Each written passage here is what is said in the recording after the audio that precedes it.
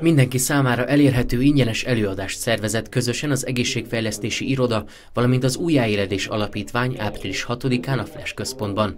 Az előadást dr. Guzeó András elismert ideggyógyász, pszichiáter tartotta az autoimmunitás témában. Az autoimmun betegség kifejezés egy betegségcsoportot takar, az ide tartozó korképek a szervezet védekező mechanizmusának apró kisiklásai miatt alakulnak ki. Gyakorlatilag amiatt, mert a szervezet valamilyen ok miatt idegenként kezeli saját sejtjeit, megtámadja azokat. Az autoimmun betegség valamelyik formája csak nem minden családot érint ma Magyarországon. Guzeó András elmondása szerint 50 évvel ezelőtt az autoimmunitás fogalma még ismeretlen volt, ma már járványként kezelhető. Amikor én a gyakorlati szakmát kezdtem vidéki főorvosként, az első évben 8 autoimmunbetegséget diagnosztizáltam.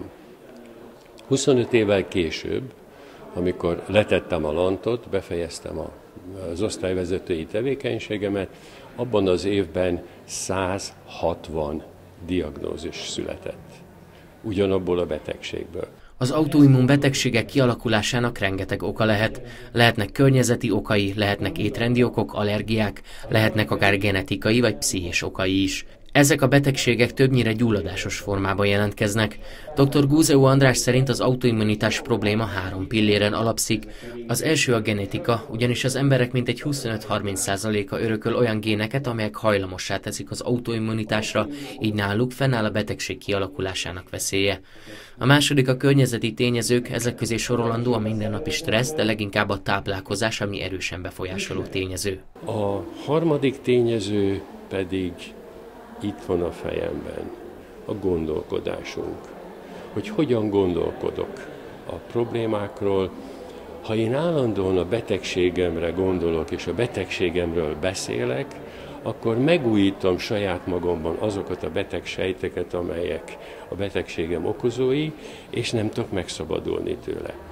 Mit jelent a funkcionális szemlélet, mit jelent a lyukasbél és mi köze van az autoimmunitáshoz? Ételallergia vagy ételtolerancia? Mit kell tennem azért, hogy az autoimmun betegségem elviselhetővé váljon, sőt tünetileg megszűnjön? Ilyen és ehhez hasonló kérdésekre kaphattak válaszokat az érdeklődők az előadás során, amely továbbá olyan témákat érintett, mint az autoimmunitás története, az autoimmun betegségek és azok előfordulása az elmúlt 50 évben, a belegben élő élőlények szerepe az életben, vagy az európai táplálkozás és a glutén hatása a szervezetre.